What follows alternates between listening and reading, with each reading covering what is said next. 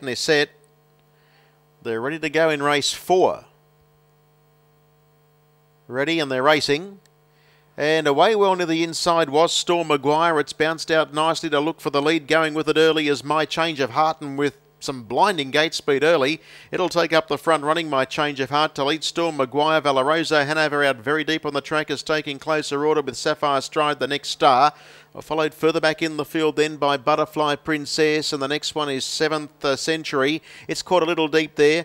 Up on the inside is Jillaby Keisha. Well back in the race as they go into the back straight now is Donegal Lenny Mack, and settling at the tail end of the field is Uncle Jay. 26.8 the first quarter.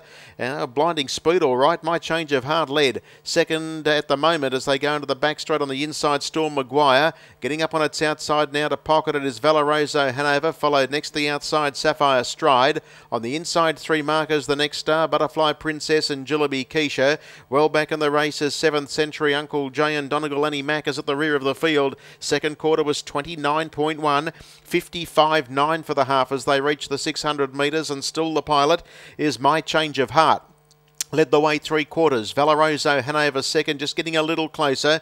In doing so, at pockets Storm Maguire. Next, the outside Sapphire Stride. The next star followed well back under pressure Butterfly Princess. And heading the remainder is Jillaby Keisha. To the home turn, Valoroso Hanover sets out after my change of heart. Sapphire Stride is right there, coming up out wide. And looking to get away from the inside of Storm Maguire as Valoroso Hanover hits the lead. Coming at Sapphire Stride and easing across carts to give chase as Storm Maguire.